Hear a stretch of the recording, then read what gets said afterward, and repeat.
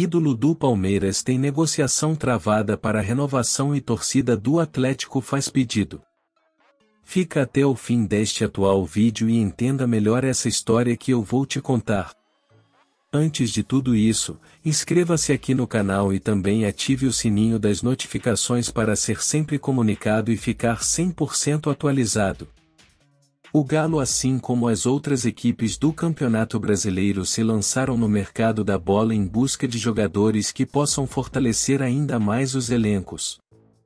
Atletas aqui do Brasil e também de fora do país são listados diariamente. Mais uma situação de um clube rival do Atlético chamou bastante atenção do torcedor atleticano. O atacante Dudu e o Palmeiras não estão chegando a um consenso para uma renovação de contrato. O jogador tem o contrato se encerrando no ano que vem, mas ainda não chegou no acordo para renovar. Diante disso, através das redes sociais, o torcedor atleticano fez o pedido para uma consulta por parte dos dirigentes.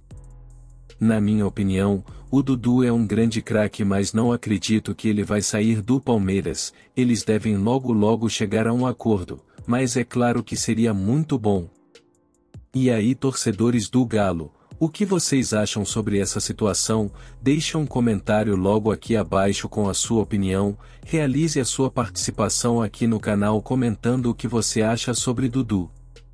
Por agora, vou dando encerramento a mais esse vídeo com as notícias do Atlético Mineiro. Em breve, quando houver novas informações do galão da massa, eu vou estar procurando e trazendo com o máximo de rapidez para vocês em um novo vídeo para vocês. Aqui é Galo.